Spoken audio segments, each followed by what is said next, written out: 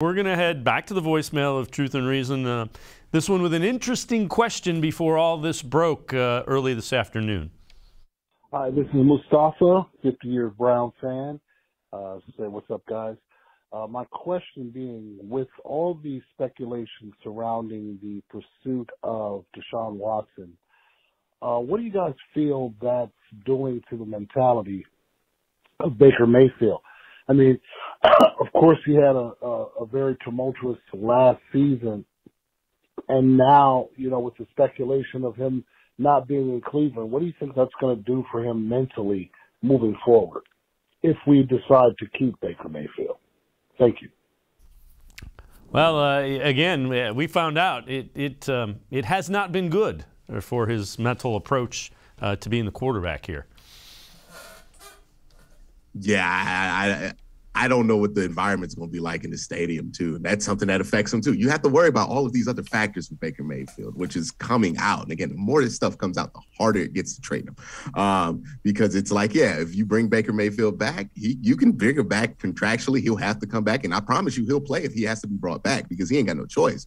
Um, but uh, what kind of what quality of quarterback play you gonna get when you know we know that the outside stuff affects him way more than it should, and he's going to deal with all the outside stuff. The, the environment at the stadium is not going to feel like a home game for him, right? Or at least at this point. Things can change by the time we get to September because it's a long way away. But you know, it's it's just one of those things where people try to tell us th- about this with Baker Mayfield that hey, the way he approaches this, he has to mature. He can't keep doing this in the NFL because it's a business in the NFL. People have said this for years about him. And we thought that he had matured in 2020. We're finding out that he just did that because they were winning. And that that's very concerning. Um, whether he comes back or not, this is a huge concern. I mean, when's the last time with any quarterback in NFL we have had a situation like this? This is almost Ryan Leaf like, right? Where it's just what in the world's going on? I mean, like Johnny Manziel was a mess for other reasons, but it wasn't because he was kicking and screaming while he was on the team. This is just odd, um, and I, I, I struggle to find a parallel. Yeah, I, I and and again, uh, the one thing that you can take away from this is.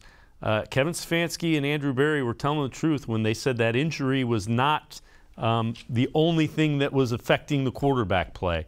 Um, the, the fact that they went out and, and are looking at options tells you they thought he was healthy enough to play better, um, without question.